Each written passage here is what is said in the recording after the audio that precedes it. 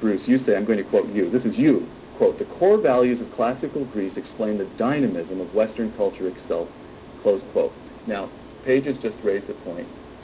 I, don't, I rather suspect you don't consider yourselves a, a Straussian, but Leo Strauss would say uh, that it was the, not just classical Greece, but the synthesis of what he called Athens and Jerusalem that made Western culture distinctive. So you've got Greek rationality, political thought, combined with the Jewish and Christian religious and moral insight. So you've got to grant Sure, sure. Yeah, that's obvious. Matthew Arnold said there's two poles that Western civilization swings between Hebraic Right. and Hellenic, but he said that at a time when Christianity, and one thing, remember, Christianity is Hellenized Hebraism. Christianity is not an offshoot of Hebraism.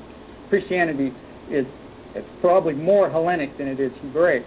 But at any rate, that in the Victorian period, At, at a minimum, it's a synthesis, right? You get Exactly, the church fathers, you get Augustine, and The New Testament Testament's written quite Greek. Explicitly trying to, trying to come to grips with Aristotle. Right, okay, Right, right.